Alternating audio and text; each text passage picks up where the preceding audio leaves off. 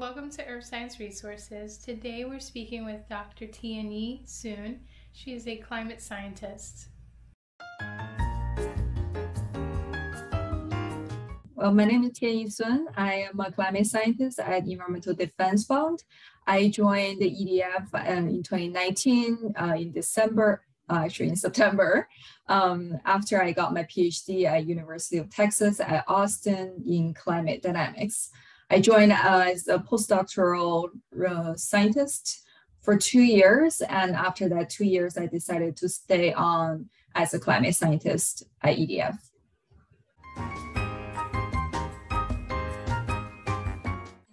So as a scientist in an advocacy organization, we spend, well, I personally spend about half of my time doing original research.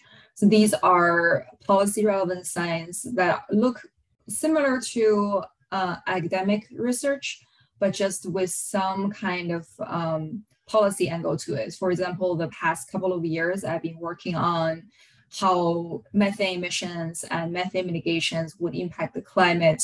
Um, I was thinking about how much it changes the temperature, how much it will influence things like ocean warming, um, sea ice loss, um, sea level rise, and things like that. So these are research that um, would help us to advocate for more em emission reduction in methane, for example.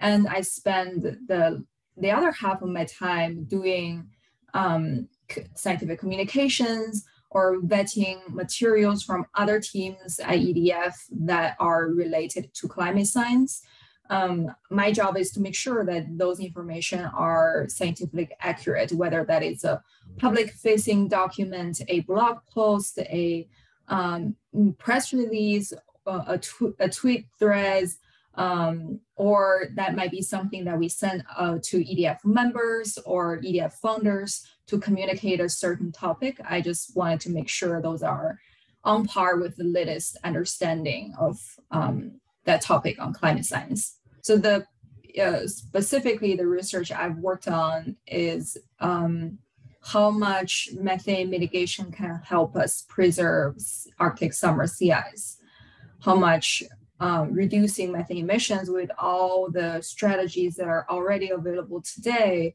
can lower the risk of uh, having ice-free Arctic summers. So this is a research that will be published actually mid-March. So it's something that I'm ready to share. Um, so the other research that I've worked on is about net zero emission pathways. So as you know, net zero has been a very, very powerful and popular concept in the policy discussions and among businesses. Um, that this is something that we need to do in order in order to stabilize the climate and not warm quote unquote too much. And you know uh, carbon dioxide emissions have been the focus of net zero goals and targets or commitments however you call it. But methane emissions have been a little bit overlooked in that concept. So we actually published a paper earlier last year just talk about what how does methane play a role in net zero pathways, how it influences the near-term temperature, how it influence may influence the long-term temperature, and how um, you know there are multiple pathways we can get to net zero, but the one that we uh, choose to act on methane right now and quickly would have benefit the climate over the next few decades and also the long term. So that is an example of what kind of research I would work on. Um, in a data, from a data analysis point, uh, it looks like sometimes playing with data in Excel, as simple as that. Uh, I may be gathering different data sources and trying to figure out exactly how much methane emissions are being put into the atmosphere today, how much is projected into the future.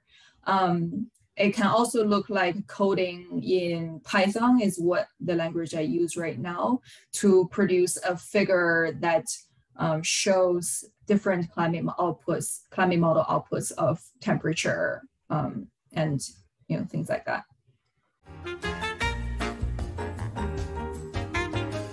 I've heard a lot of people talking about their careers, and there was this moment where they figure out, oh, that is what I'm passionate about. I don't think there was a particular moment for me. As a kid, I was just really fascinated by natural sciences, all kinds of natural science, not limited to earth science slash geology or slash geoscience or anything like that. Um, there were some moments where my uh, playground in my school is half raining and half sunny. I was like, oh, that is really interesting. So that might maybe the first uh, few sparks that I got really interested in meteorology. And there was a um, really bad flood um, in China where I grew up in uh, northeastern China, actually, around 20, uh, around 1997, 98. And my dad at the time he was working for an electricity company and he couldn't come home for a few days because he had to be in the front line and figure out how to repair electricity um, networks and make sure that all the residents in our area has electricity. So that was you know uh, sort of realizing the power of nature the power of rain and water and things like that. So i think i was just always a little bit fascinated by these natural um, phenomena. And in before from there, from there all the way to thinking about going into college, I you know I didn't really focusing on particular path. We had geography classes where we learn about the wind belt uh, around the earth, how uh, the rotation kind of creates that, and it's all very fascinating to me. For a while, I was really interested in biology. Actually, I was surprised I didn't pursue that. Um, but you know, the college entrance process in China doesn't give the students a lot of freedom to think about what exactly they are curious about or passionate about. It's more about getting good grades and trying to get into a good university. So that was my goal as well. I mainly just focused on study, study, study, and get good grades. And when I was about to choose a major, um, atmospheric science just kind of stood out as a choice that uh, is the most balanced that I was able to study something I, am curious about. It's part of the natural science world, but also that would allow me to enter into a good university, which is Nanjing University, and end up getting into.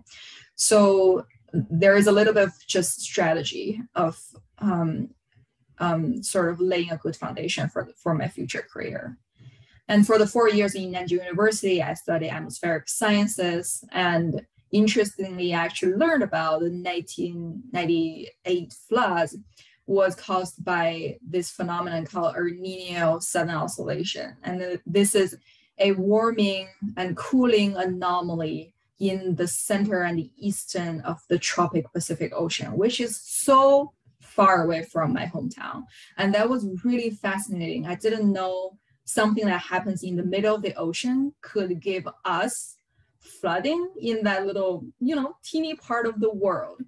So I think that sort of connected back to the childhood curiosity for meteorology and things like that. So I just stick to it. I I really liked it, and from there I applied for grad school um, in the U.S. I moved to the U.S. in 2014 and joined the a geoscience department at UT and studied climate dynamics for the next five years.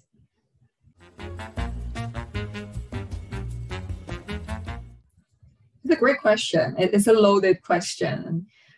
I, there there isn't anything specifically I would do differently, but I wish I knew a little bit more about how a scientist can contribute to society besides being an academic during the four and a half years out of five years of my PhD, I was thinking about um, tenure track positions, being a professor, teaching, doing scientific research for the rest of my life. Um, I didn't really pay attention to the other opportunities that might be out there. I didn't think about scientific advocacy. I didn't you know, honestly, I didn't even think about climate change solutions that much because I was so focused on my own little niche. So I think I wish the younger self seeked out that question more. I, I wish I would have asked the question, are there any other ways? And, you know, in the rest, uh, in the last half of year of my PhD, I sort of uh, finally realized that I will have to move my geographic locations maybe multiple times, very likely multiple times to pursue a tenure track position. And I would have to, yeah, write grants and, um, you know, just do a lot of proposing. and that's not necessarily something that I'm passionate about. I love teaching. I love doing research, but I don't particularly enjoy writing a proposal and trying to get funding for it. So that's when I started to think about other opportunities and kind of stumbled into the ad for the postdoc fellowship at EDF and finally knew that there are other roles out there. And then during the two years at EDF, I started learning about all kinds of other ways that scientists can contribute to the world without being necessarily acad- academic. Um, so I wish that was something that I realized early on and could have maybe reached out to more people to learn about their careers and just open my own mind a bit more. It, it was very stressful to trying to figure out what the next step is during the PhD um, period. Um, so I think if I had a little bit more information, it would have been a little bit easier. Um, I think another thing that I would like to know or kind of tell my younger self is I thought stepping out of academia was such a big deal. I thought I would never be able to go back. I would kind of stop publishing and not, you know, quote unquote, be a scientist anymore. But it turned out so good. I could still do the original science, but now I get to promote my science and use my research to for climate advocacy, to uh, use my communication skills to uh, talk to high school students and college students about the science. And um, I think I started to realize that that wasn't that big of a change. I thought it was. And also, it is not a permanent change that I couldn't change in the future anymore. So that thing that seems so such a huge step in during in the last year of my PhD. Now I look back and I know I can pivot my career anytime that I want to for it to fit my own interest and you know the things I care about and also the the skills that I have. So I, I wish that was something that I realized and be less anxious about.